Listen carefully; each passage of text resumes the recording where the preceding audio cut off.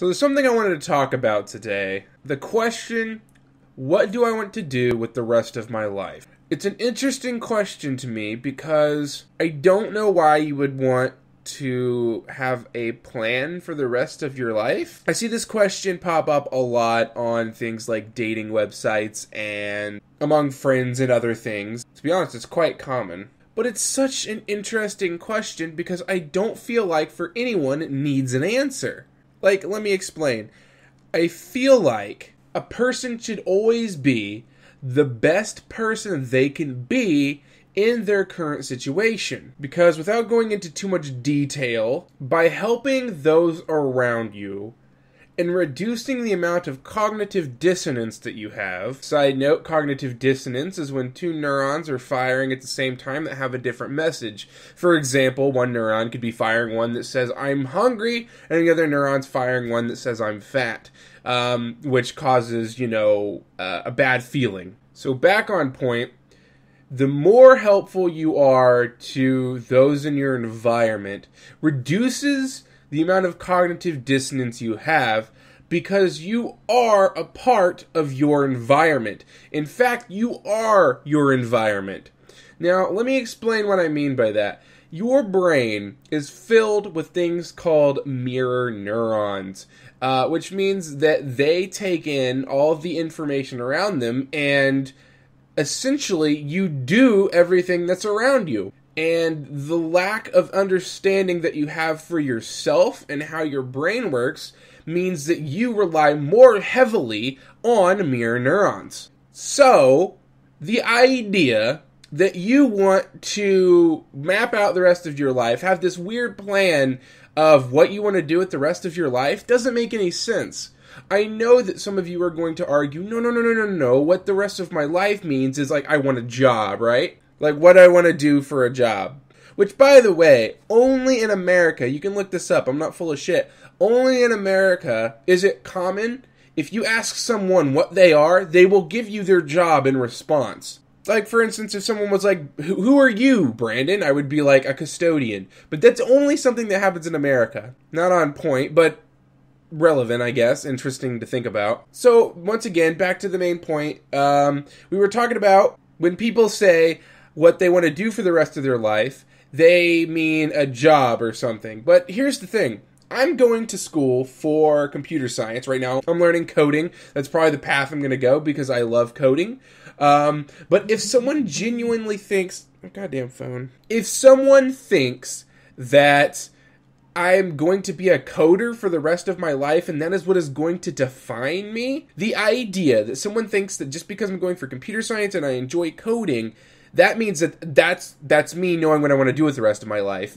No. No it does not. It means that I have an interest in coding, so I went to school for it and now I'm going to do things that involve coding that hopefully are going to benefit me and the people around me. Whether that means just getting a job, making money, providing, or even like making an awesome code for a business or making a cool website that helps the people around me. And by bettering myself, I am bettering those around me because they have mirror neurons too. And by helping them, they're in return going to help other people. Which, by the way, a lot of you are going to think I'm crazy, but this information is backed by science. And in fact, I encourage you to research this stuff. I don't know, maybe one day I'll do an episode on it. But yeah, so once again, you know, just recapping the idea that you have to know what you want to do with the rest of your life is insane. Be the person that you need to be now. That's all you have to do, and things will fall into place. If you have the right mindset of always trying to be the better you, which is, by the way, the easiest thing to do in the world, it involves removing choice, but. Oh god, maybe I've just opened up a can of worms I can't fucking follow through with. Basically, if you want to be the better you, you have to remove choice. Let me give you an example. Um, let's say your mom says, hey, go do the dishes, and your thought is, no, fuck that shit, I'm not gonna go do the fucking dishes. But then she goes and gets a shotgun and she holds it up to you and says, Hey, go do the dishes. And then you scurry your little ass in there and you go do the fucking dishes. She didn't do anything. She picked up a gun and removed choice. You no longer had a choice, so you did the dishes. So, By removing this illusion of choice that you've given yourself, you will get shit done.